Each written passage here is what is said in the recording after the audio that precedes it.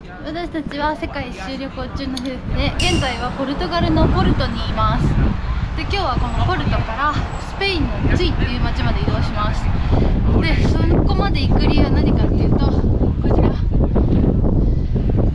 カミーノ・デ・サンティうということであのキリスト教の、まあ、巡礼の道を歩くためにそのスタート地点私たちにとってのスタート地点のツイっていう町まで行きます。んはい。はい。100キロ歩くわけですね。そうです。ツイからサンティアゴ・でコンポステーラまで100キロ5日かなかけて歩きます。今日は0日目ってことですね。はい今日0日目です。ははい。いじゃあ行きましょうレッツゴー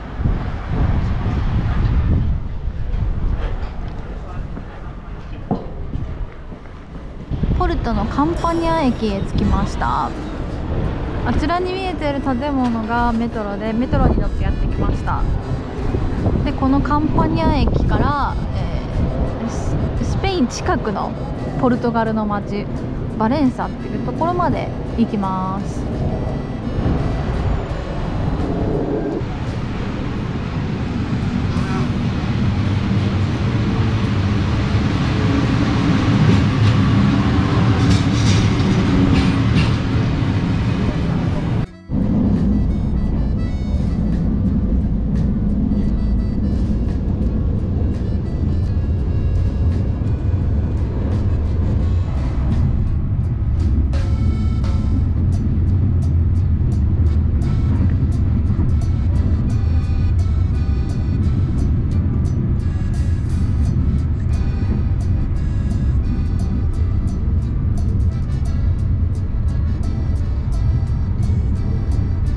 バランカに着いてここから徒歩で国境を越えてスペインに向かいます。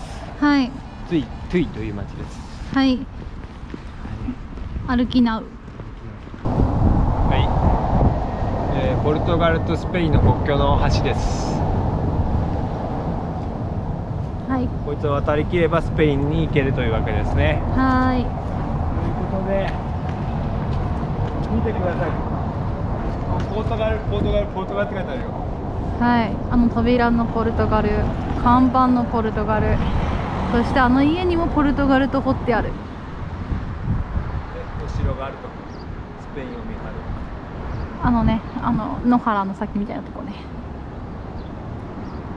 じゃあスペインに行こはーい。じゃあ歩いて渡りますいいですね。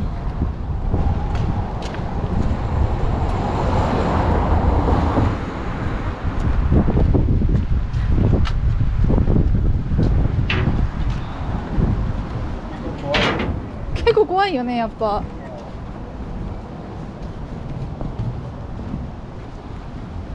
いい景色だね本当に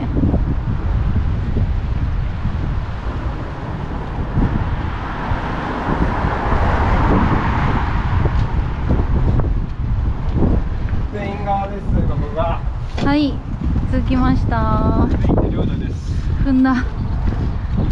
3度目のスペイン。スペイン側。はあ書いてあった España ね España。